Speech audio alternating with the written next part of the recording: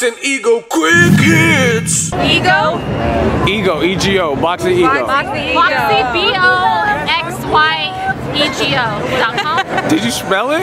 Spell that shit. For the big December 1st fight, Tyson Fury has enlisted the services of veteran trainer Freddie Roach.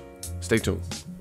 What up, Fight World? It's your boy Ego, and I'm back with some more boxing. Back with my brand new segment, Boxing Ego Quick Hits, where I give you guys the news in two minutes or less. Less intro, less filler. Let's get it. Now, Freddie Roach did an interview with Sports Illustrated, and he announced that he's going to be working the corner of Tyson Fury December 1st for the Deontay Wilder fight. He's going to be working as a cut man.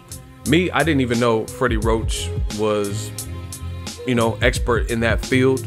You know, I know like rest in peace, Rafael Garcia, you know, Stitch, Stitch Duran and stuff like that. But I didn't know Freddie Roach really dabbled in that aspect of it. And this is what Freddie Roach had to say to Sports Illustrated, and I quote. Tyson Fury asked me if I'd work in his corner. He asked me if I could do cuts. I said, Yeah, I have guys better than me though. He said, Do you know what you're doing? I said, Of course I do. I have everything you need, so I'm the cut man.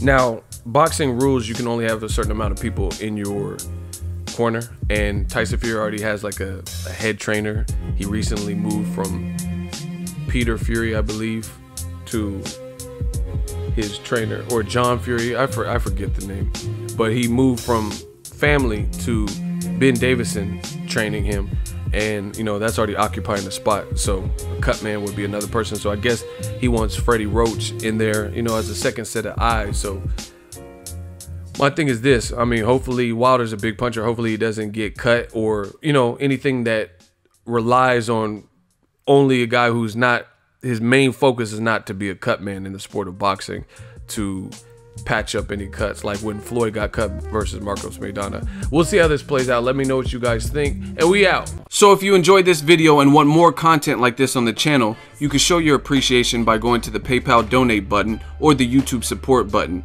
and you can donate any amount that you feel is equivalent to the value of this video. Much more to come. Thank you guys for your support. Boxing Ego, the future of boxing.